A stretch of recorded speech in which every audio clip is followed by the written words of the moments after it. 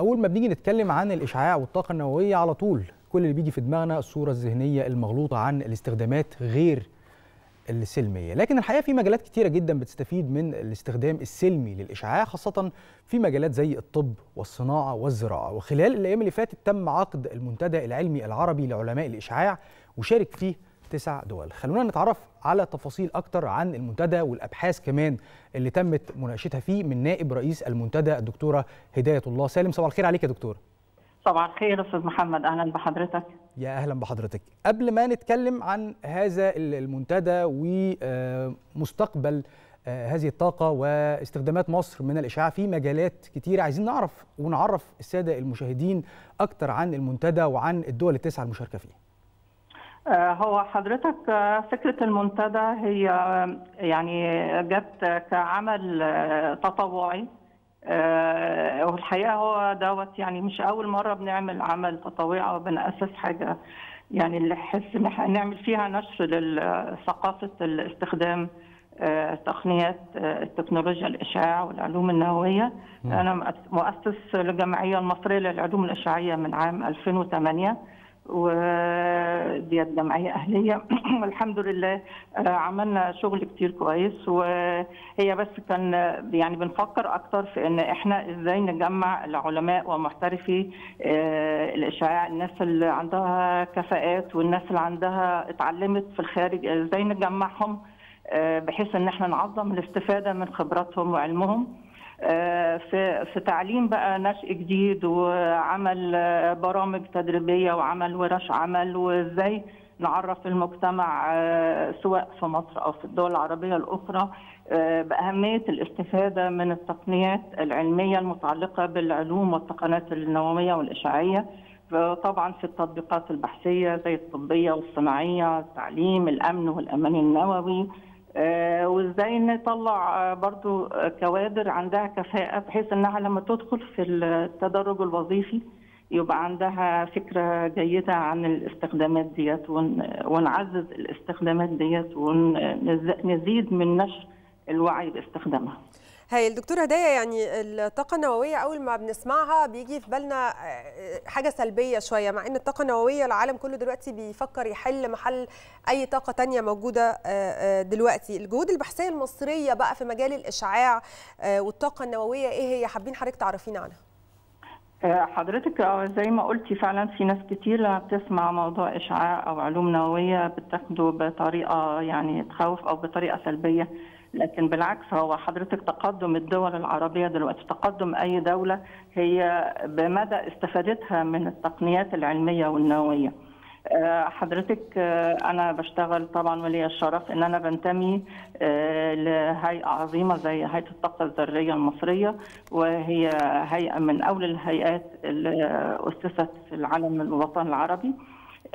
إحنا عندنا جميع المجالات اللي بنشتغل فيها البحثية والتطبيقية كتير والحقيقة في المجالات سواء طب الزراعه الهندسة الهندسة النووية الأمان والأمن النووي والأمن المفاعلات وكله الحمد لله يعني عندنا باع طويل فيها لكن وعندنا كمان يعني بحوث كتير بتطبق ويمكن حضرتك سمعتي سعادة الأستاذ الدكتور رئيس الهيئة الدكتور عمرو الحاج وإنتاج طفرات عديدة من القمح اللي هي بتزيد نسبة الإنتاج بنسبة 33% دي نقطة مهمة جدا يا دكتورة كنا حابين نوضحها أكتر للناس. والجفاف طبعا إن إحنا تأثير هذه الطاقة يا فندم على تأثير هذه الطاقة يا فندم على الصناعة أو استخداماتها استخدامات الإشعاع والطاقه النوويه في الزراعة وفي الصناعة كمان وإن الحاجات دي ملهاش أي تأثير على هذه المنتجات اللي بيتم تصنيعها باستخدام هذه الطاقة. ده تمام زي ما حضرتك تفضلت وقلت أستاذ محمد هي فعلا بل بالعكس هي ضرورة ضرورة وضرورة ملحة جدا إن إحنا لازم نتجه للاستخدامات السلمية ديت للطاقة الذرية والنووية. لازم نطبقها في كافة المجالات.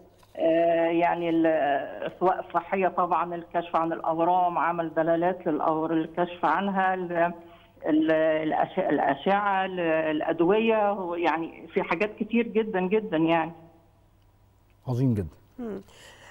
طيب يعني من أهم أهداف المنتدى يا فندم بناء قاعدة بيانات للخبراء والخبرات في مجال العلوم والتقنيات النووية والإشعاعات واستخداماتها في الوطن العربي، إزاي ده هينعكس بقى على المشاريع التنموية المستقبلية خلينا نتكلم في الدولة المصرية؟ أه والله هو يعني حضرتك إحنا يعني بنحاول إن إحنا نعمل فعلا لأن إحنا ما نعرفش بعض كتير. يعني أنا ما أعرفش كل اللي بيشتغلوا مثلا في ليبيا أو في الجزائر أو في تونس أو في السعودية أو في الإمارات. فإحنا فكرنا طبعا ودوت يعني بمعرفتي بأصدقاء وزملاء في الدول العربية فقلنا هنعمل كيان هو كيان تطوعي ما فيش يعني كل واحد فينا عايز يقدم العلم اللي اتعلمه ويدرب الناس اللي بعديه فقلنا هنعمل دوت نعمل كيان اسمه سميناه المنتدى العلمي العربي لعلماء ومحترف الإشعاع. كل اللي فيه دوت بيشتغل في التطبيقات ومختصين في البحوث العلوم النووية والإشعاعية وتطبيقاتها. فدوت علشان طبعا نعمل ريادة في التعليم والتدريب والبحث العلمي. طبعا عظيم. لأن إحنا في عندنا خريجين بيتخرجوا كل سنة. فمن مهمنا إن إحنا نعمل دورات تدريبية عشان ندرب النشء الجديد دوت قبل ما يدخلوا في مجال ال ال العمل. إن إحنا نعرف المجتمع بإيه أهمية العلوم والتقنيات النووية نعمل ورش عمل دورات تدريبية كل شهر. ممكن كمان بالتعاون مع الجامعات والهيئات إن إحنا نعمل دبلومة مثلا للخريجين لمدة عام وتبقى طبعا يعني بدون مقابل. نعمل اجتماعات الخبراء الموجودين في الدول العربية المختلفة كل فترة مثلا بحيث إن إحنا نعرف إيه توصلوا إيه الجديد في المجالات المعينة زي الطب هندسة ده عظيم جدا. ايا كان. نعمل مؤتمر علمي عربي كل سنة أو كل سنتين بحيث إن إحنا نقدر نتبادل الخبرات نتبادل المعلومات. نعرف نفسينا لأن برضو عندنا علماء كتير جدا عرب موجودين سواء في الخارج أو موجودين في بلادهم. لكن برضه مش مش معروفين بالدرجة الكافية. هو دوت اللي كان الهدف أساسي. وفي نفس الوقت إن إحنا نتبادل الخبراء. يعني أنا عندي مشكلة في حاجة في حد تاني ممكن يحلها لي مثلا في السعودية. فأستعين بيه أو يستعين بيا بحيث إن يبقى فيه تبادل نبقى عارفين بعض. أي مثلا شركة أو أي حاجة في القطاع الخاص محتاجين خبير في الحاجة ديت. عشان يقول لهم إيه نعمل إيه واحد اثنين ثلاثة ده جميل جدا يا فندم. إن حضرتك بتقولي إن في آه اتصال مباشر وفي متابعة آه مستمرة لتطوير في هذا القطاع في العالم كله بشكل عام وإنه عملية التدريب والتطوير بتتم لشباب الباحثين باستمرار لأن إحنا من أوائل الدول أو في العالم العربي اللي دخلنا في هذا المجال بإنشاء مفاعل انشاط سنة 58 عايز أعرف من حضرتك أكتر عن الأبحاث اللي تمت مناقشتها في هذا المنتدى. هو المنتدى كان دون الافتتاح لكن إحنا إن شاء الله وممكن نطلع حضراتكم عليه أو على النشاط أول بأول. فإحنا ما ناقشناش فيه بحوث لكن إحنا يعني عملنا انطلاق لأعماله. وبإذن الله الشهر نبدأ إن شاء الله من النهارده بعد ما عملنا الانطلاق. وكان بحضور رئيس هيئة الطاقة الذرية المصرية، رئيس الهيئة العربية للطاقة الذرية، رئيس هيئه الطاقه الذرية في السودان، إخوة من الطاقه الذرية في الأردن، إخوة من الطاقة الذرية في ليبيا، رئيس جامعة الشارقه والحقيقة إن هم كلهم أبدوا دعمهم لأعمال المنتدى. وإحنا طبعا بندعو من خلالكم إن كل الجامعات وال وهيئات الطاقة الذرية على مستوى العالم العربي إنها تتبنى أعمال المنتدى. وإن هي يعني يبقى في استفادة عظمى من النشاط دوت إن شاء الله. إن شاء الله. ويعني ان إحنا برضو حابين قوي إن إحنا التدريب ده مهم جدا. النشر التوعيه ده مهم جدا زي ما حضرتك قلت.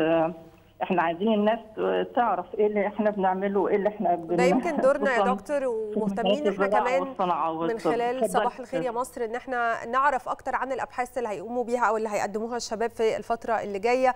موضوع مهم جدا جدا العالم كله مهتم بيه ومهم إن إحنا كدول عربية دلوقتي بنقوم بدور عشان نتقدم في هذا المجال. كل الشكر ليكي الدكتورة هداية الله سالم نائب رئيس المنتدى العلمي العربي لعلماء الإشعاع والطاقة. شكرا لحضرتك.